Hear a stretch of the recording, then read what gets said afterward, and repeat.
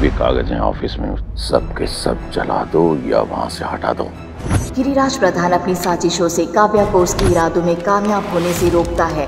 हर मुमकिन कोशिश करता है कि उसके पिता जेल से बाहर ना आए। क्या दिवाली के पहले अपने पिता को रिहा करने का वादा पूरा कर पाएगी Kavya?